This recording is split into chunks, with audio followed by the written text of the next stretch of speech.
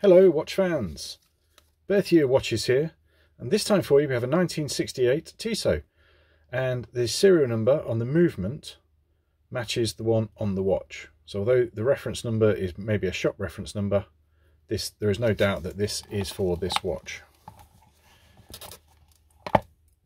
So box and papers, naturally. The serial number also means that this watch was made in 1968 as well as sold in 1968. So Seastar PR516. PR stands for particularly robust because the movement has shock protection left and right, up and down. You have the original signed crown and you have this steering wheel bracelet. Now these are a piece of metal this side and a piece of metal this side that can be shaped to your wrist just by bending it round.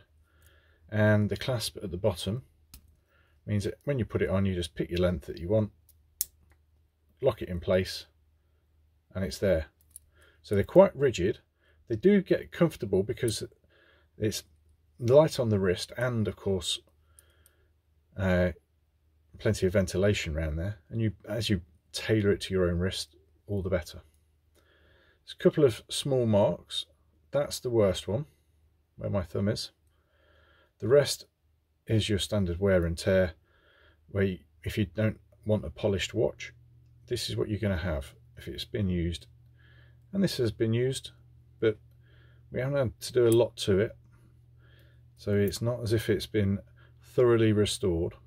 Screw down case back, manual wind movement, no calendar on this. So this was the entry level model, but that does mean there's less to go wrong if you're a pessimist.